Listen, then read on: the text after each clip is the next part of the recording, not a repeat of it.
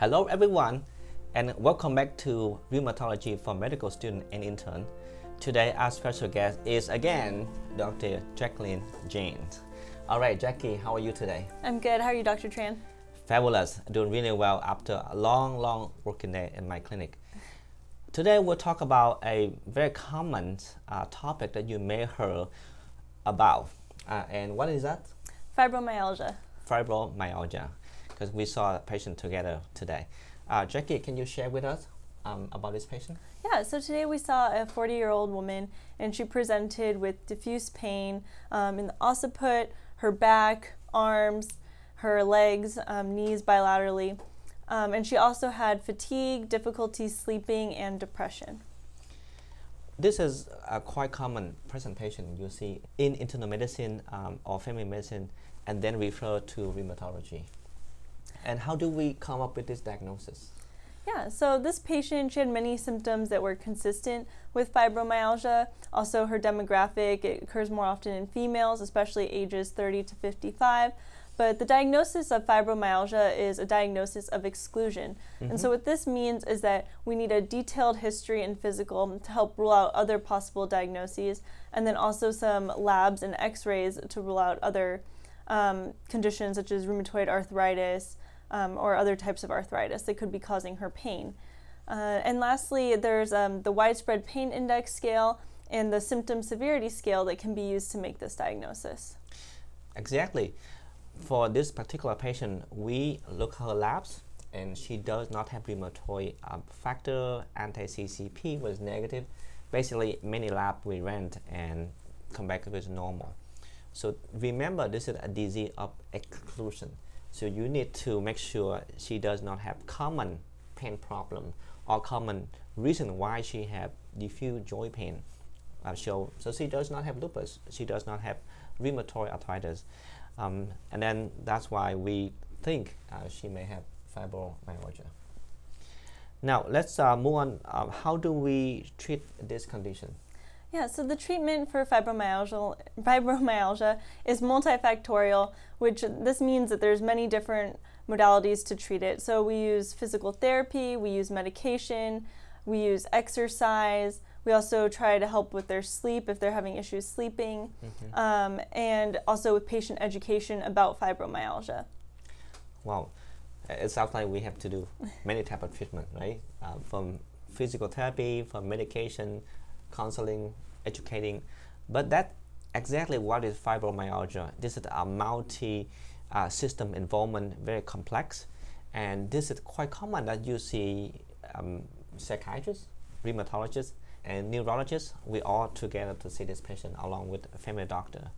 Now, uh, when you mentioned about multifactorial patient education, what is the key thing? For example, you spend a lot of time with the ladies, remember that? Mm. What's the one key thing you really want to tell her? Yeah, so one thing is you kind of want to talk to patients about their psychosocial history, which means incidents that could have happened in the past. There are some triggers for fibromyalgia that include abuse, um, mm-hmm. um, also history of trauma. So some patients that have had whiplash or a car accident, um, these are all triggers for fibromyalgia. That's very true. If you spend time and take a good history, you figure out like Jackie did a fabulous job. The patient was able to tell Jackie what happened years ago, right? It's not just today. And we think that may contribute to her fibromyalgia conditions. Now, beside educating patient, uh, let's talk about medication because mm-hmm. that's what we often use, right? So from what you see a patient today, what medication you would give her? Yeah, so there's several different types of medication that can be used for fibromyalgia.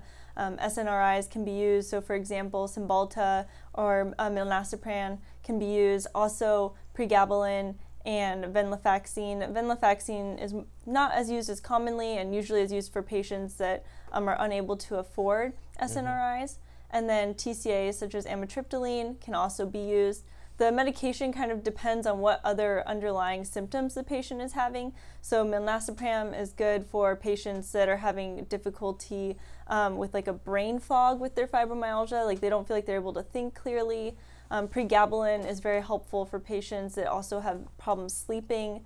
Um, and duloxetine is good for patients that um, might also have um, depression as one of their major symptoms. Exactly. When you talk about treatment, we need to identify each patient risk and also their scenario, their situation, to figure out what medication would work best for them. For example, you mentioned about depression, you mentioned about anxiety. So depends on the subtype of, for example, depression and fibromyalgia, we'll, we'll pick the medication that likely help both depression and pain. Now, there's one medication that I usually advise my resident and my student do not use in fibromyalgia. You know what it is? Mm-mm. Narcotic, right? Because narcotics, um, you know, it is good for acute pain. For example, uh, any type of injury, cancer pain, but long-term why uh, we rarely use. I say rarely, that means sometimes we do in fibromyalgia, but not always. Uh, we rarely use uh, narcotic in fibromyalgia because we like to try many other medication or many modality before we go to narcotics. So that's one thing that we can um, try before using narcotics. Um, anything else you want to share with us about this case? Um, for this patient, um, how would you differentiate between her depression and fibromyalgia? And are there any um, overlying um, symptoms between the two? So between fibromyalgia and, and and depression, or even other um, like somatic um, psychological disorders. It is difficult to see a distinct, different, or clear line between the two, because fibromyalgia involved with many systems, and you can tell depression, anxiety could be a portion of fibromyalgia. So my answer usually is that no, you won't see a clear cut between the two. However, I try to see uh, fibromyalgia as an overall picture, a bigger one. But you try to pick what is the main one from that. For example, this patient we saw today, she have history of abuse, she depressed, uh, and then anxiety. So, so those are the one that I think stand out in addition to her joint pain. Now with that, we'll, we'll pick a medication that likely treat both of her conditions.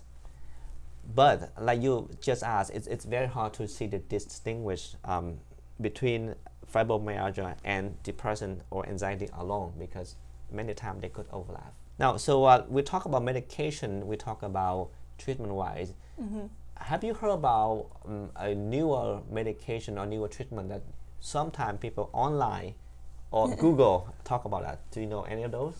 Um, so one treatment that um, is newer is naltrexone. So low dose naltrexone has started to be um, incorporated into the treatment for patients with fibromyalgia. Mm-hmm. But another um, one that is most commonly Googled and people with pain kind of want to know about is should they use cannabis for fibromyalgia? That's a great question, especially in California. Now, when I see question like this, the the way that we usually, and I think we should do it, look at the evidence because as uh, physicians and also scientists, we need to have enough evidence to support any type of treatment. Now, cannabis, uh, by far, the FDA approval is for seizure activity, not for pain. And by far, we do not have enough evidence to support the use of cannabis in fibromyalgia. Um, so that's how I tell my patient, usually we don't have enough yet uh, evidence. Uh, we may or we may not in the future, but at the moment, because we don't have I will not use it. Now, low dose naltrexone is different story because we have some randomized control to compare and yet there are some improvement uh, with low dose naltrexone like you, you just mentioned here. And this is the reason why sometimes I do use it here to treat fibromyalgia. But again, after I try physical therapy, uh, psychiatry, and other modality before I go to um, these particular medications. That's cool. All right. So uh, let me go back to you as a your as another future rheumatologist mm-hmm. here. What is your impression about fibromyalgia before come to see the patient together, and what is your impression after seeing her? What is your thoughts? Yes, I don't think I knew as much about the treatments for fibromyalgia um, and also how multifactorial it was, and also how many specialties are typically involved for patients with fibromyalgia, including psychiatry um, to help them with depression if they're struggling with that, uh, maybe even sleep medicine if they're having issues sleeping. Um, so I found that interesting how many people were involved to help treat them. So, are you afraid of fibromyalgia now or no?